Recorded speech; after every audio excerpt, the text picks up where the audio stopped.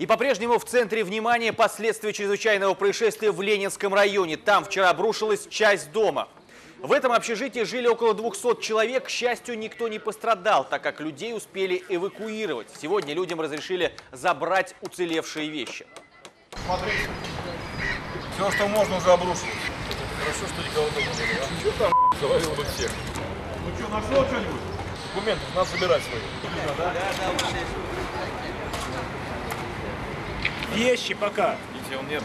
Грубогабаритные не надо вывозить. Не, не, не, Только вещи. документы, ценные вещи, необходимые вещи. Все. Чтобы мародерства не было, мало ли они думают, и каждую комнату после выхода печатают, чтобы ну, после этого, чтобы мы убедились, что туда больше никто не заходит, правильно? Ну вот вы видите, Вот сейчас выносим. вот и все. Вчера только успели документы и все, и больше ничего. Вчера было весело.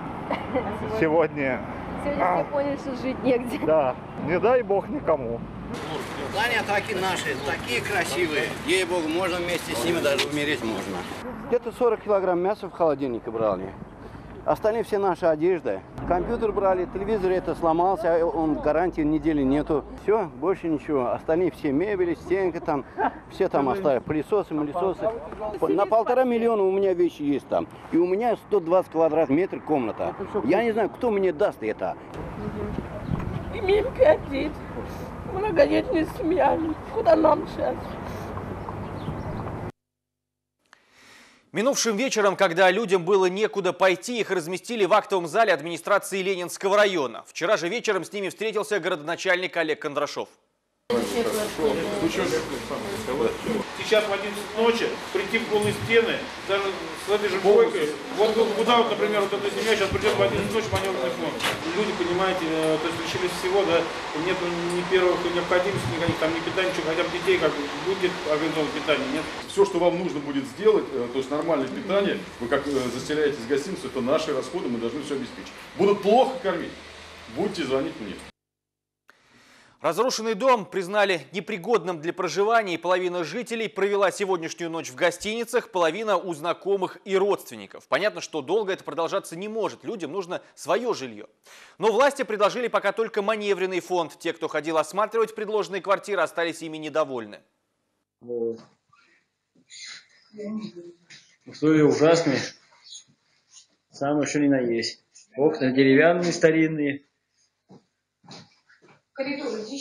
Канализации здесь поблизости нету нигде. Зайдя в комнату, в общем, хотелось блевать. В коридоре тоже. Ну, это такое общежитие хуже нашего, которое было. Там грязь, там натуральная антисанитария. Если там санэпидемнадзор зайдет, там просто ее закроют. Она непригодна для жилья.